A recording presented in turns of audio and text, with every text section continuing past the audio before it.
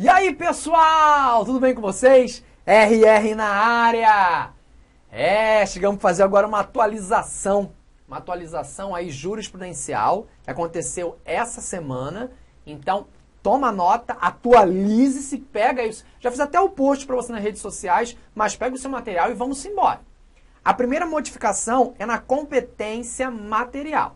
Na verdade, se você já é meu aluno, você já ouviu falar isso, que eu sempre digo isso nas minhas aulas. Não tem uma surpresa para você, mas vamos atualizar, porque vale a pena. A súmula 392 do TST, joga na telinha, ela tinha a seguinte redação. Nos termos do artigo 114, inciso 6 da Constituição da República, a Justiça do Trabalho é competente para processar e julgar ações de indenização por dano moral e material decorrentes da relação de trabalho, inclusive as oriundas de acidente de trabalho e doenças a ela equiparadas. Muito bem, vamos lá. Recordar é viver. Competência da AJT para processar e julgar as ações de indenização por dano moral e material decorrente de acidente de trabalho. Até aí faço show. Veja, o acidente de trabalho pode ocasionar duas situações. O empregado pode viver ou o empregado pode morrer. Se o empregado vive e vai reclamar, vai ajuizar essa ação de reparação de acidente de trabalho, ele vai ajuizar perante a Justiça do Trabalho. Com a emenda 45 de 2004, acabou a dúvida. Compete à Justiça do Trabalho, a nossa JT, processar e julgar as ações que envolvam acidente de trabalho. Show, perfeito até aqui. Agora, pode ser que o empregado morra. Se o empregado morrer, os herdeiros e os sucessores, eu já falava isso nas aulas, é o entendimento que prevalece, ajuizam a ação perante a Justiça do Trabalho. Esse já era o entendimento. E agora, essa semana, agora, foi alterada a súmula 392 com a nova redação, incluindo na competência, agora em definitivo, da JT, processar e julgar as ações que envolvam relação né, de acidente de trabalho, com pedido de indenização por dano moral e material proposta por sucessores, né, dependentes que for, ou os herdeiros. É o chamado, diga para mim, dano indireto, dano reflexo ou ricochê. É esse aqui. Olha aí a nova redação, como é que vai ficar.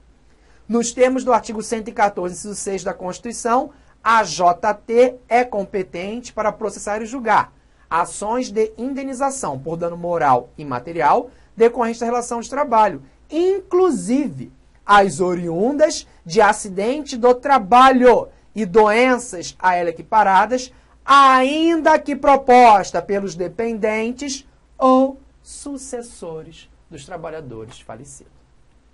Do trabalhador, na verdade, falecido. Eu já dizia em aula esse entendimento e agora está aí, consubstanciado na súmula 392 do TST. Dano indireto, dano reflexo ou ricochê.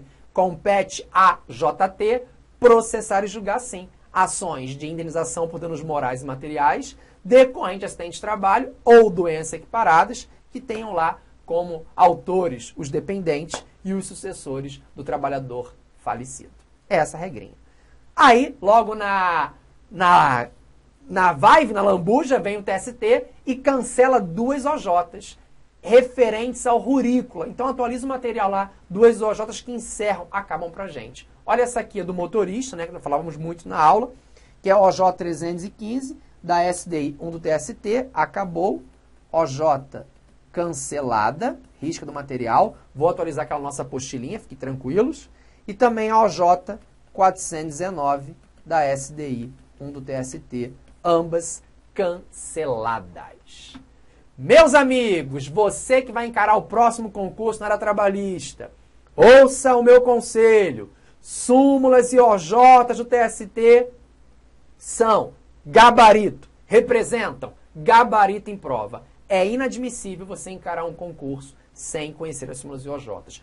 Hoje, eu digo de boca cheia, hein? É o que mais cai em concurso não cai, mas tanto CLT como CPC caem também, óbvio que cai. Agora as súmulas e OJs dominam os editais, dominam os exames. Pense nisso. Então, quer se aprofundar? Eu tenho um curso, meu novinho, acabei de gravar, de su principais súmulas e OJs do TST. divididos em direito material e direito processual, duas partes.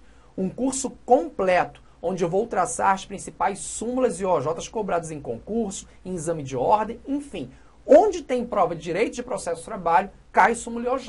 E eu faço um apanhado das principais. Esse curso está no Só Tribunais. Acesse lá www.sotribunais, tudo junto.com.br. Baratinho, baratinho. Por apenas R$ reais um curso completo. Tá? Então, não deixe de conferir em Só Tribunais. www.sotribunais.com.br. Fico te esperando. Súmulas e OJs, gabarito em prova. Pense nisso, não esquece. No mais, fico aqui e volto a qualquer momento em edição extraordinária.